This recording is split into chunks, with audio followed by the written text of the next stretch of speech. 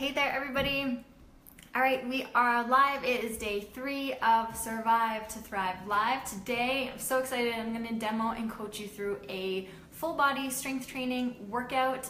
We are going to do a variety of different exercises. I want you to know that I'm going to give you modifications or substitutions for each exercise in the workout. So there are going to be options, okay? So if you are concerned at all, maybe that you are very late pregnancy or you're quite early postpartum, you have pelvic organ prolapse, you're still in the process of healing your diastasis recti, maybe you're just not uh, someone who strength trains regularly, that's not part of your movement practice, totally fine, really truly. We can modify so easily in strength training workouts. That is why I love it so much, especially coaching it for lots of different bodies, because we can modify so easily to find a movement that typically does work for you well, pain free, and symptom free. So, that's what we are going to do today. If you have any questions as we go through, please do post them in the comments and I'll be able to see.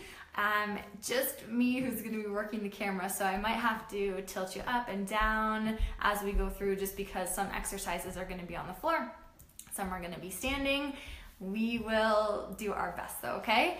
So say hello if you're on live. I can see some names popping up. Let me know if you can see me and hear me okay let me give you a few more details on the workout itself. So I'm going to be using dumbbells, resistance bands. I'm also going to demo, you can see back there my squat rack, I'm going to be doing uh, pull-ups and there is an option that you do not need a chin-up bar for. So again, resistance bands and dumbbells are going to be the basics. That is what we tend to do for all workouts that I coach through in my two pregnancy and beyond program dumbbells, bands, we can make it work with that amount of equipment. So don't stress about that at all either. So, first circuit is going to be a tri-set, meaning there are three different exercises. Hey, Jennifer. So, three different exercises. If you got the Survive to Thrive guidebook that I sent out via email earlier in the week, maybe you've looked through the workout already and you've seen that there are different exercise options in each little chunk or category of exercises. Hey, Jessie Ann. So, the first circuit, again, is three different exercises, but there are options for each of those three exercises that you can choose. So, again, maybe you are later pregnancy, maybe you are earlier postpartum, you might choose the option one in that exercise category. So, our first three exercises are going to be a glute bridge variation, a chest press variation, and a squat variation. So, glute bridge variation, there are three. You're gonna do body weight, or with a mini band, or with a dumbbell.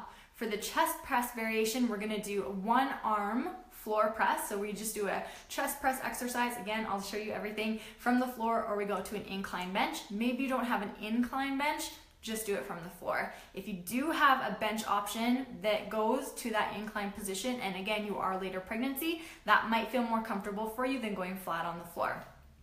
Third exercise in that circuit is our squat variation, a bodyweight squat or an offset squat with one dumbbell. So I'm gonna tilt you down just a little bit so you can see when I go down to the floor to demo the glute bridge and then the chest presses as well. All right? Again, questions? Let me know. I'm gonna put my notes down here so I do not forget what we are doing. I'm just gonna tilt you down, move you over. I think we should be good there. All right, here we go. So exercise number one is our glute bridge variation. I'm gonna show you the body weight version, then with the band, then with the dumbbell. You are going to pick and choose what variation you do.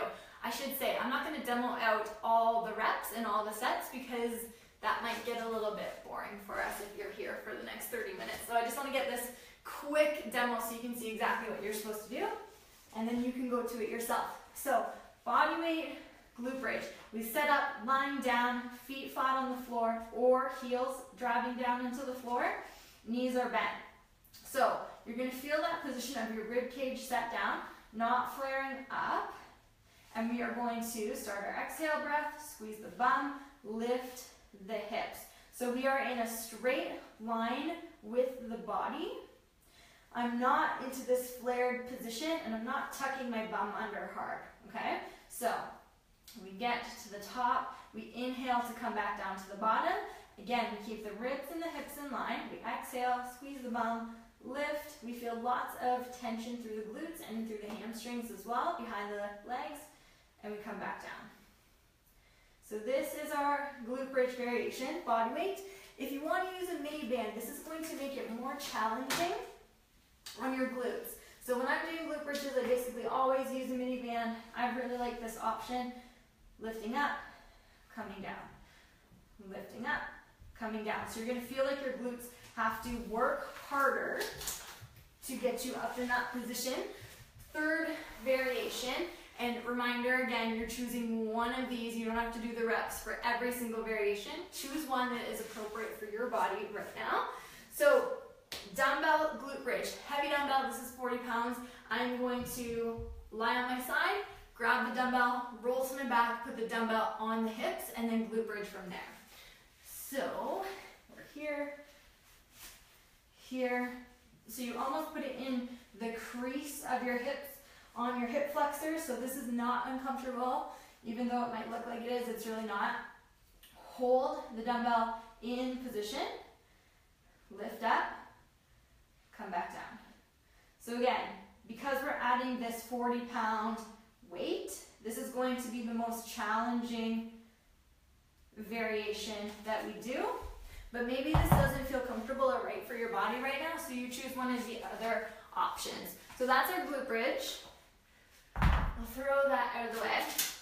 Okay, so then the next exercise in our strength training workout is going to be chest press. So I'm going to show you a one arm floor press.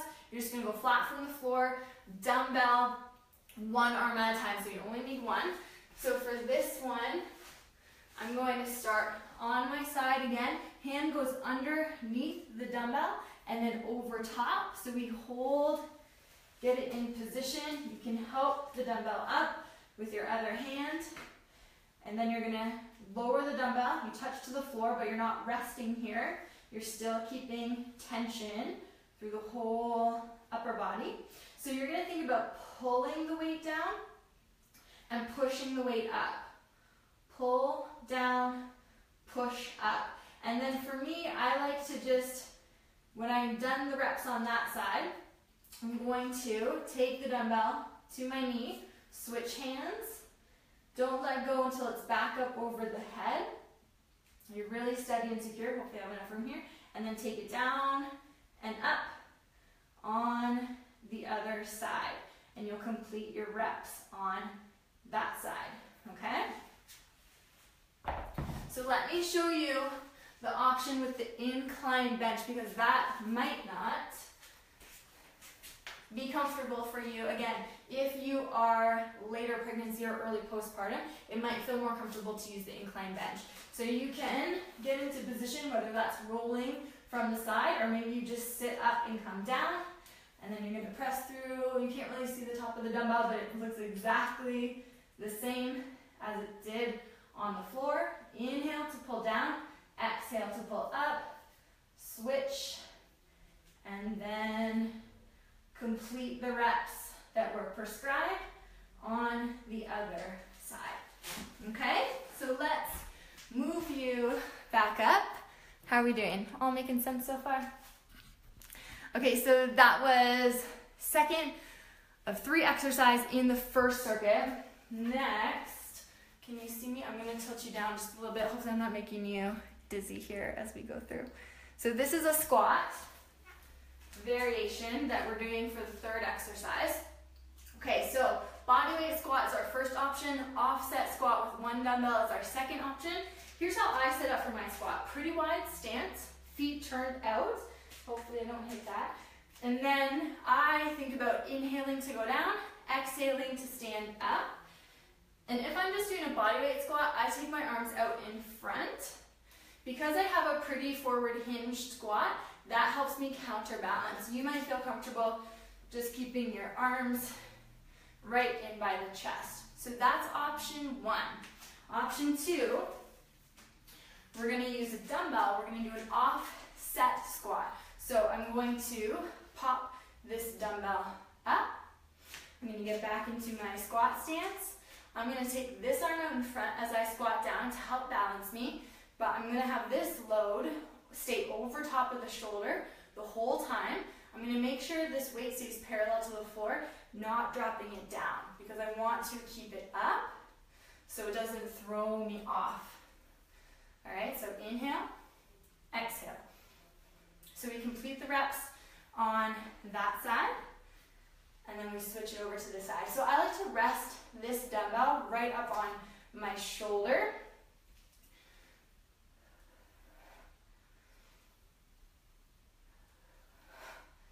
Okay, so that's our first full circuit. So we have the glute bridge option, pick one. We have the chest press option, pick one. And then we have the squat option, pick one. And you're gonna do the reps for those exercises for all those sets that are listed out for you. We'll find a way to get this whole workout posted up in case you missed the guidebook. Because I feel like we're probably gonna get asked that question, so we'll get it for you for sure. Okay, let's set up for circuit number two. I'm just gonna move some things out of the way.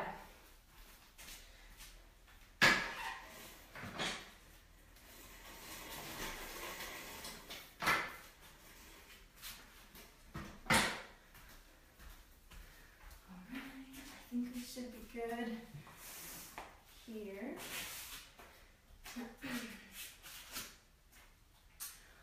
okay, so circuit number two.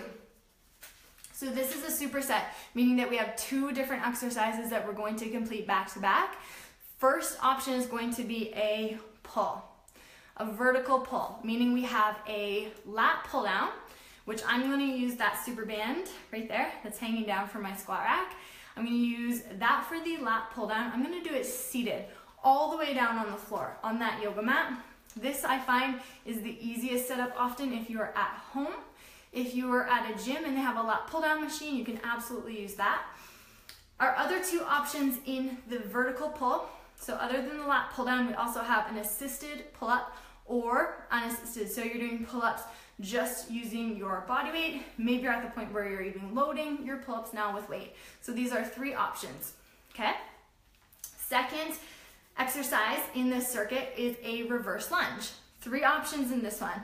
Using your body weight, using dumbbells, or using a barbell. I'm not gonna show you the barbell version today because this skateboarding wrist injury is still not able to get in that position. Hopefully I can even do chin-ups Maybe should have tested that before. We'll see how it goes. But let me show you these options first. So seated lat pull down. You know what? I might even move us closer. So it's not so far away. All right, let's do our pull downs first. So this is a super band. This is the resistance band that I love so much for my home gym setup. Sorry, I just feel like that's glaring bright right there. Um, so I find this to be one of the best options if you are working out from home, okay? So I'm gonna grab this band, I'm gonna sit all the way down onto the floor, and then I'm gonna pull the band down, elbows down into the sides of my body. On my exhale, breath. So I can feel myself sitting on my sit bones as I do this. So that's our level one option. Level two option, we're gonna take this into an So I'm gonna use that same band. I'm gonna put my knee through it, reach up, overhead grab the bar, and try to do, see how it goes, pull-ups. So, knee in. I'm gonna take a neutral grip, hang down fully.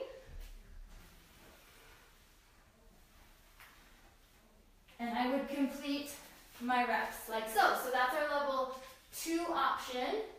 Assisted pull-ups using the band. Level no help from the band, just body weight.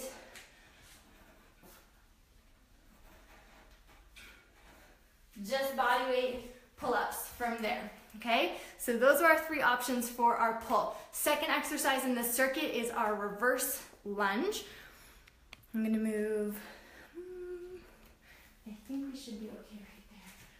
Just want to make sure you can see me. Okay, so weight reverse lunge. So in this exercise, we're going to be working the backside of the body, backside of the legs. You're going to think about keeping a slight forward lean as you step backwards. So here we go. I'm going to do hands on the hips so you can see my body a little bit more easily.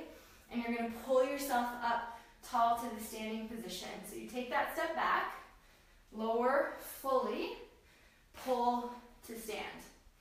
Let's do other side so you can see. So making sure that you feel the glutes and the hamstrings working to pull yourself back up to standing position. Level two option. We're gonna add dumbbells to the mix on this one. So this is going to be harder because we're adding that load. And then the movement stays exactly the same. You're just going to feel like you need to work harder to control the movement down and pull strong to stand your body up. So third variation for that reverse lunge is going to be in a front or back racked barbell position. So even more challenging, but dumbbells often are enough, especially because you can continue to load it heavier. Okay, I'm out of breath. We just have one more exercise to go. Very last exercise in this workout. So only one exercise. You're gonna do the sets of these back to back to back. Basically, it's a glute burner. So you're just gonna end the workout with your glutes burning and then you're done, which is probably my favorite way to put finishers into workouts because then you can just feel this really strong, stable position of your hips, lower back, so perfect for pregnancy and postpartum. So two exercise options. I'm just going to pull, um, do we need the bench first? Yeah, I'm gonna pull the bench in for this one.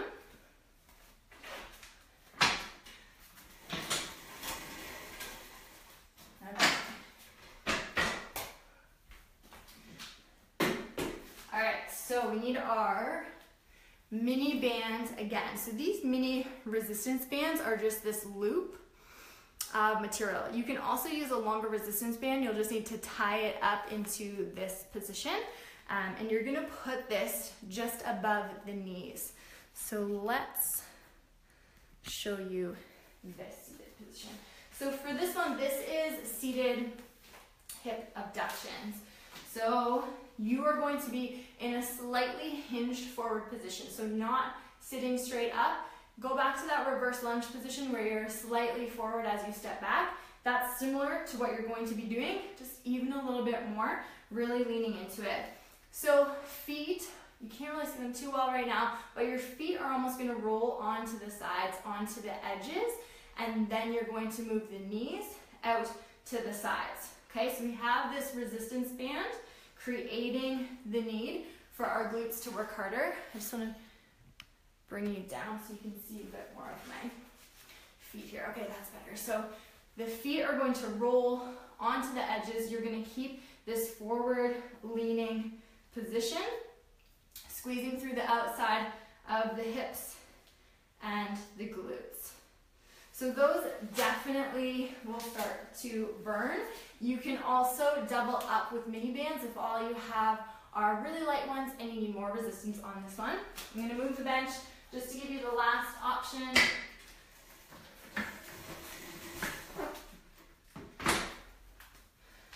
Okay, so this is one of my favorite exercises. Move you back. All right, so this is lateral band walks. So, let's go down just a little bit. Okay, last time, moving you all around. Lateral band walks back to our mini band.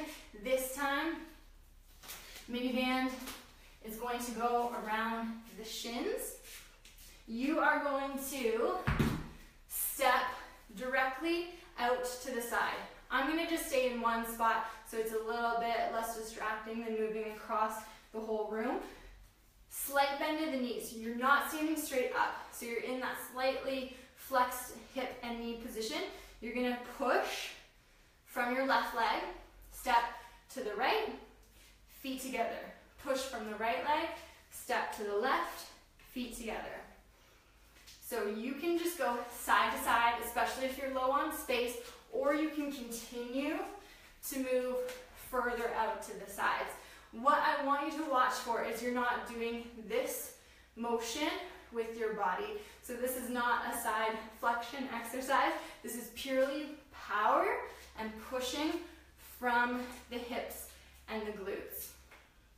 Okay, that is our very last exercise. So just know with that last exercise, you just pick one of those two and you complete all your reps and sets back to back. Rest when you need to, get back in when you need to. Glutes are going to be burning up, and then you're done. That's it. Are there any questions right now while we're here on any of those exercises or any of the variations or what you should be doing if you have diastasis, prolapse, that sort of thing? I need some Are we good? Okay, we will absolutely find a way to get this workout posted up under this video so you can see it. If you got the Survive to Thrive guidebook on Monday, it is there for you. So it is fully laid out with the reps and sets, coaching cues, the rest periods, all that stuff. And now you can just come back to this video to see how everything is done um, in case you're confused on what those exercises are. Hey Harper, excellent. Nice, so you have diastasis, no problem at all. Absolutely can be appropriate to do these uh, exercises, this whole workout with diastasis. Just need to ensure we're turning, tuning into the sensations of the body, the alignment, the breathing, which we can touch on another time, which we have talked about a lot before in the past. There's some great blogs on jessiemundell.com, which will also address that specifically. But not to fear strength training and diastasis. Um, that really is the treatment that we use to help heal lots of bodies. Anything else? We are good for today. So, tomorrow in day four of Survive to Thrive Live, we're going to be talking about minimizing, how that relates to a whole bunch of different topics in our life, minimizing clutter, expectations, um, really just helping your life feel a bit more easy, calm, peaceful. So that's tomorrow in day four of Survive to Thrive Live and give this workout a go. So my task to you was to complete this workout by the end of the weekend. So do so, come back, comment once you are done the workout. Let me know how it went and if you have any questions. Okay, I'll see you tomorrow, same time, same place.